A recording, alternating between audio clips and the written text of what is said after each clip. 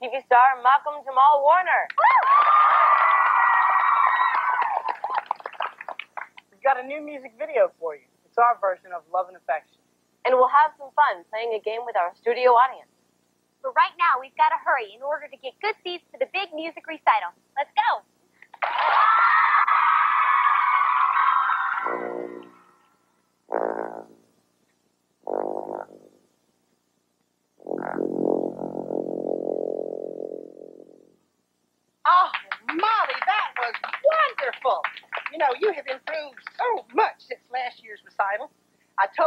Blowing up those truck tires would improve your lung power. Sure did, Mr. Lee. Hey, excellent lungs. Well, parents, again, I want to thank you all for coming out tonight. You know, I can't tell you enough how proud I am of these students. Looking at you here, sitting there, looking so cute and spiffy. Well, you just, it just makes me want to tear up. I'm sorry. I do love this music. So, come on now, who would like to go next, huh? Hmm? Come on. Oh, I know. Don't be shy. I know y'all raring to go. oh, good, a volunteer. Come on up here, Monroe, you little Dickens. Tell everybody what you'd like to play. I'd like to play first base for the Yankees, Oh, would you now? but I'm going to play A2 number one by Kremenovsky. Oh, that's wonderful. All right. Let's get busy. Ready?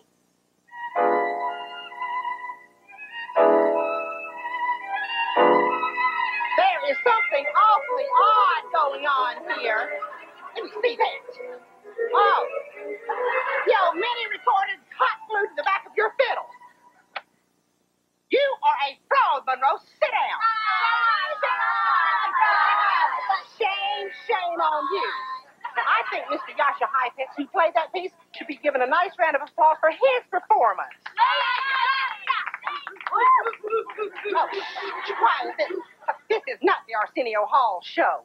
This is Miss Lurleen's spring musicale. Don't you forget it. All right, now, Henry, I believe it's your turn. No. No, I'm not going to do it. And you're not going to make me either. I'm getting out of here. Shirley Marion Craven. Let me go. It's a living nightmare. Hey, listen, this stage right thing is just getting out of hand. You don't understand. This is a very traumatic experience I'm having. This will scar me for life. Listen, I'm going to scar your backside if you don't move it over there, mister. Girls, put strap into the piano bench. Oh, oh, incidentally, I want to thank Henry's mother, Myrtle, for making these beautiful, lovely, delicious blue cheese willy wags.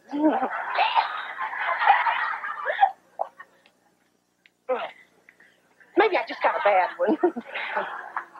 Less talk, more music. well, my goodness, Shirley, we are a little testy today, aren't we, honey? well, let's move it right along. Let's see. Now, Henry's going to be playing Beethoven's Für Elise, right, Henry? All right, now, Henry, just pretend you're in your living room practicing, all right, and forget about all those people out there. Gah! Oh, honestly, everybody give him a round of applause. Come on, come on. okay, Henry. Practice real hard. Come on, dear.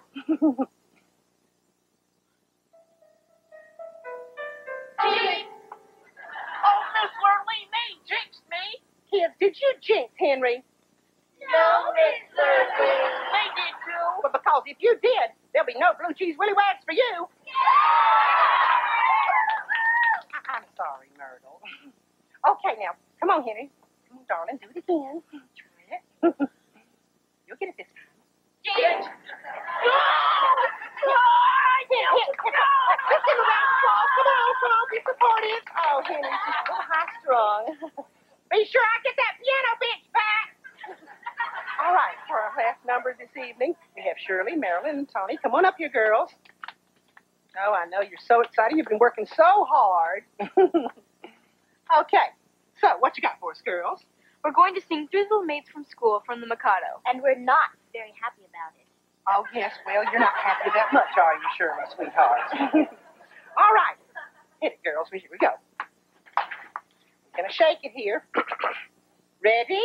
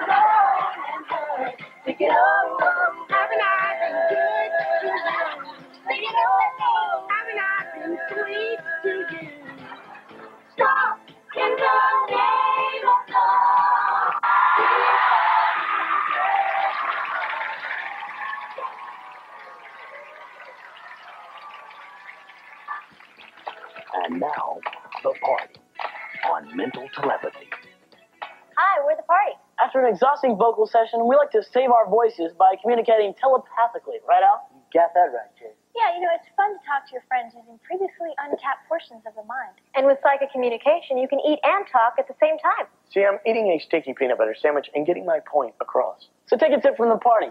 Whether sending a message to another person, Or receiving thoughts from someone else. Always remember, don't shout! They can hear you. The party, not just a band.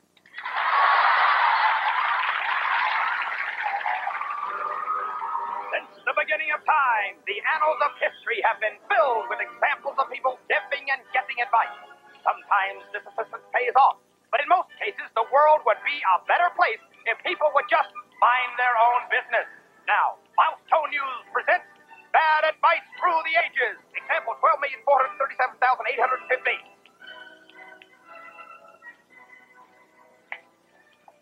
You look awfully distressed, General Custer. Is there anything I can do to help? I don't know, Wendell. I was really looking forward to traveling out west, but the more I think about it, the more it seems like an awfully long trip. I wish there was some way I could cut down on the mileage. I think I can help you. Look at this route you've planned. You're spending a lot of time just getting from one destination to another. If you took shortcuts off the main thoroughfares, you could cut your travel time in half. Leave the main road? Sounds kind of dangerous, don't you think? Dangerous? Come on, it'll be exciting. I mean, you'll see parts of the country most people never get to visit. Like right here in the Montana Territory, you'll go right through Little Bighorn. I hear it's beautiful and not to be missed. It does sound kind of intriguing. I guess you're right. I'll give it a try. Thanks for the advice, Wendell. I knew I could count on you. As anyone who has studied American history will tell you, General Custer and his entire regiment of 210 men were wiped out at the Battle of Little Bighorn. Perhaps a trip to the bayou would have been a better idea. This has been another chapter of Mouse Mousecone News, bad advice through the ages.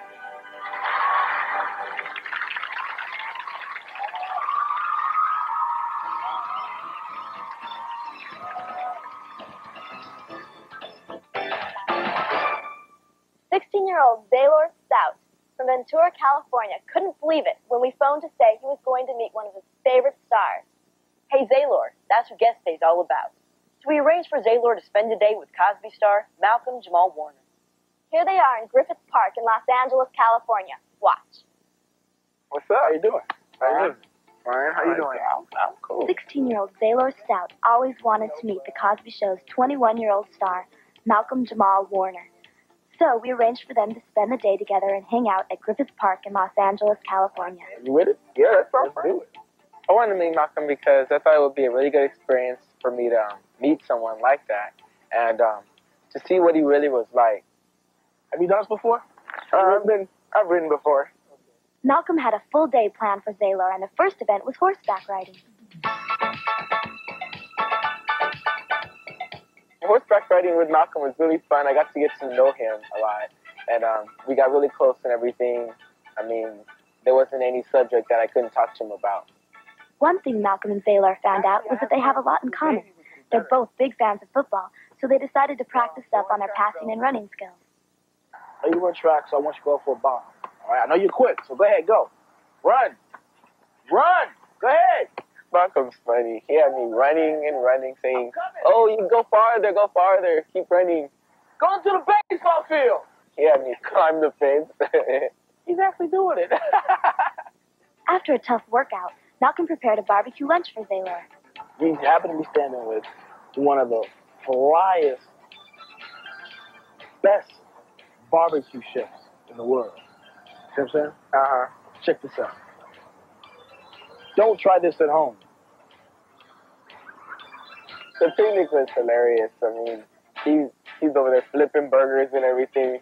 Malcolm does the most off the wall things if he wants to. It was really funny. Ah. You like that, didn't you? You like that, didn't you? Maybe one day, uh, I'll show you that. Hold it for me, okay, guy?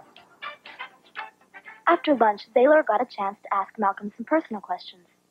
What is your relationship like with Bill Cosby? And people always say, well, is he really like a real father to you? And I say no because he's got five kids of his own, and I have a father of my own.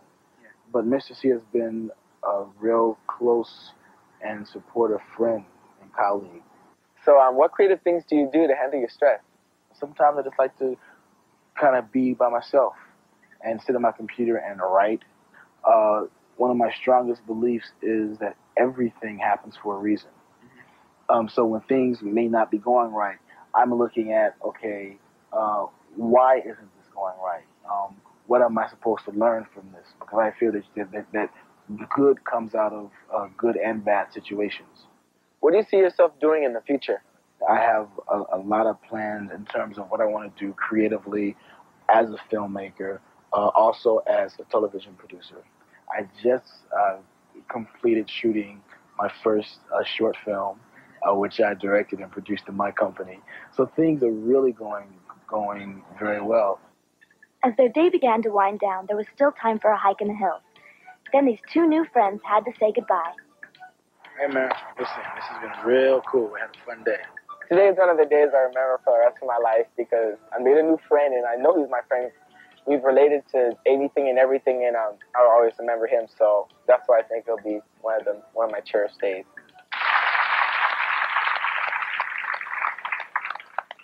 Zaylor and Malcolm got a good workout on this guest day. Yeah, horseback riding, hiking, football. Those burgers look pretty good too. If there's someone you'd like to meet and spend the day with, write to us at Guest Day, Mickey Mouse Club, Disney MGM Studios, P.O. Box 10200, Lake Buena Vista, Florida 32830. And don't forget to include your name, address, and telephone number.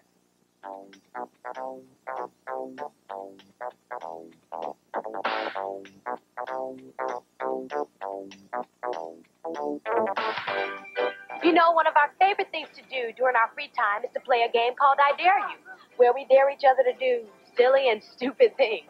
Like today, I dared Rhona to wear all of her clothes inside out. And I, the brave soul that I am, accepted the challenge.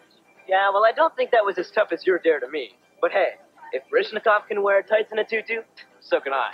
Anyway, we thought it would be fun to play I Dare You with some kids out in the Disney MGM Studios theme park. So come on, I dare you to join us. I dare you to break out in front of this crowd and sing a corny song. Yeah, like how about if you're happy and you know it, clap your hands. Okay. If you're happy and you know it, clap your hands. If you're happy, Angie. Hey, I dare you to wear your shoes on the opposite feet.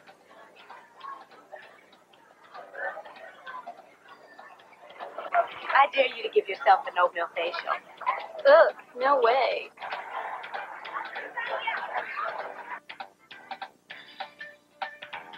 If you're happy and you know it, stomp your feet. If you're happy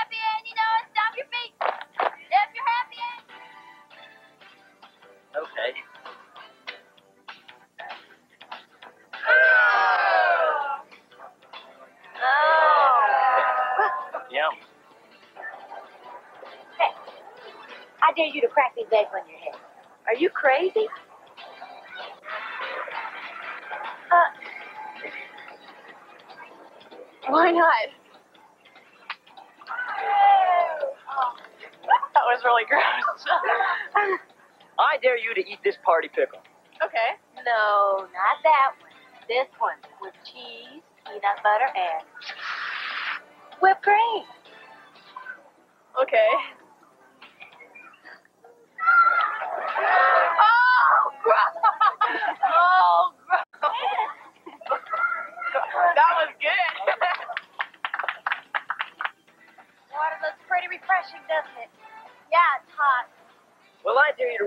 Yourself by dumping this bucket of water over your head.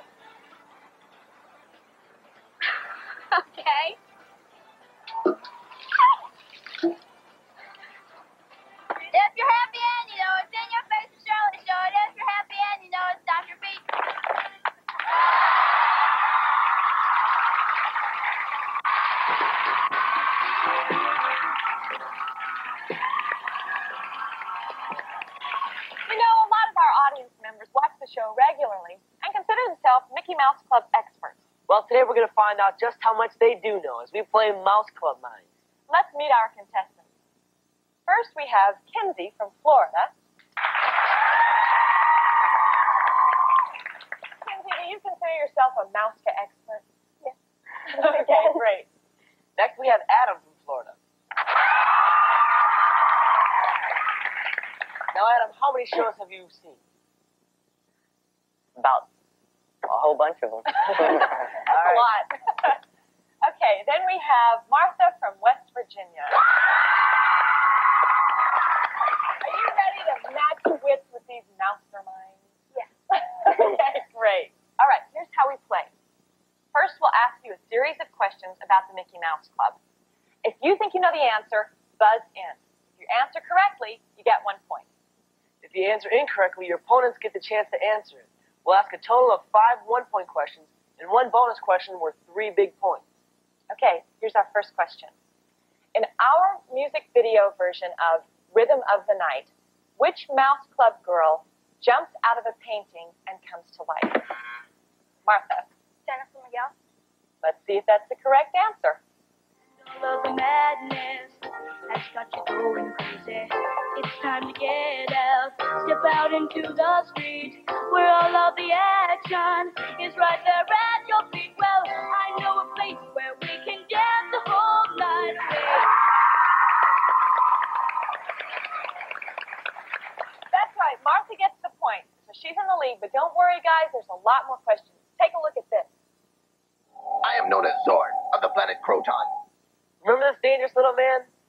from the planet Croton and took over the show. But the question is, what did Zord threaten to do to your head? Was it A, squeeze it until it pops? B, use it as an intergalactic bowling ball? Or C, give you a really bad haircut? Adam, what's your answer? Give you a really bad haircut? That's incorrect. Kinsey? B, it's gonna turn it into an intergalactic thing. That's incorrect. okay, Martha? Um, squeeze your head until it pops. Uh, let's take a look. Will you join us, or shall I squeeze your head until it pops? So Martha got the correct answer just out of the process of elimination. Now she has two points. She's in the lead. Don't worry, guys. There's a chance to catch up. Here's our next question. Let's take a look at Mark and the gang in a hot Mickey Mouse Club musical number. I am, I know that close my eyes. I took a drink. I didn't know if it was day or night.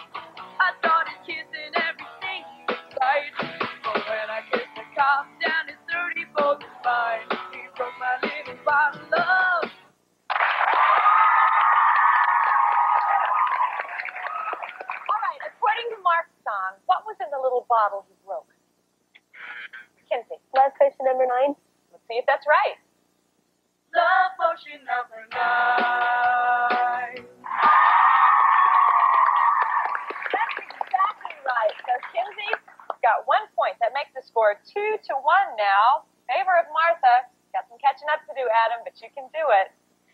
Okay, our next question will be asked by a special Mouse Club guest.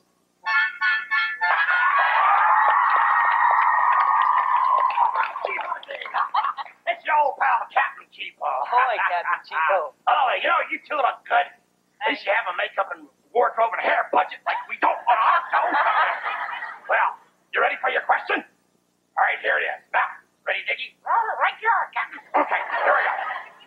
What's the name on the cartoon barge? And I know y'all watch it, although it is on at four in the morning now. but what's on the cartoon barge?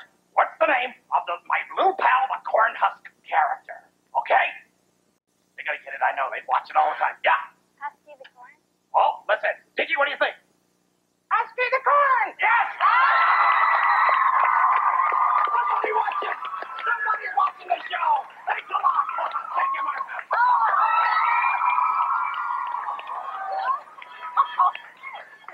Thank you, Captain Cheapo. Oh, that was right. Husky the corn was right. So Martha now has three points. All right, guys, here's a chance to catch up. Another question. This current teen heartthrob was first seen by Mouse Club fans on our club movie Teen Angel and Teen Angel Returns. Name the actor. Martha. Jason Priestley? Jason Priestley is the correct answer. So Martha, you picked up another point. Okay, here's your last question worth three big bonus points. In one of our Mouse Club sketches, the Grimm brothers, hot young writing team, tried to sell their movie, Three Bears and a Little Lady, to what Hollywood movie mogul? Martha? Big Slick? Vic Slick is absolutely correct. All right, so Martha gets three points. Now, it looks like we have a lot of Mouse Club experts, but we have one big winner, and that's Martha. Let's hear it for her.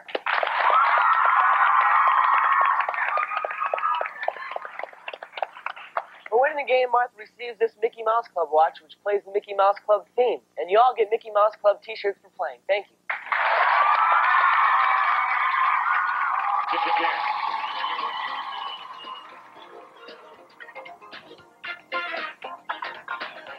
Now it's time for this week's music video.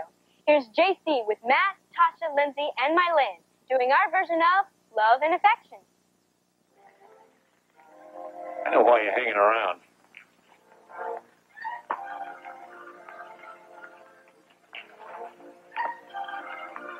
You're stuck on the girl. That's all a guy needs is to get hooked up with a woman.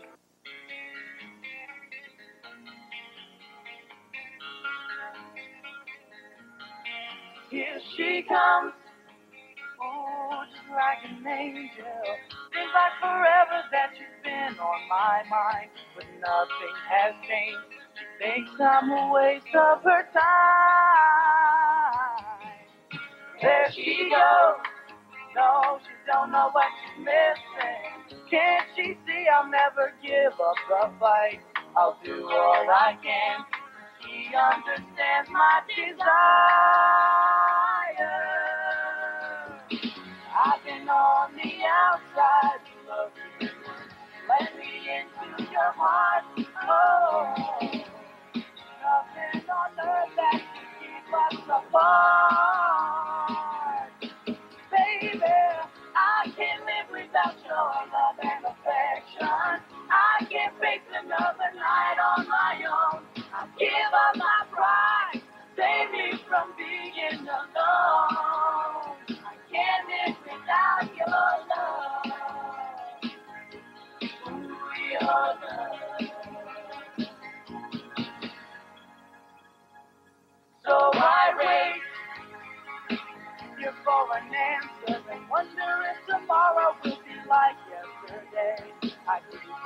going on. I can't go on living this way,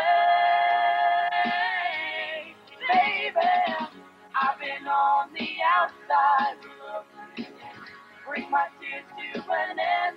Oh, I realize there's no use for me to pretend. Oh yeah, I can't live without your love and affection. I can't face another night on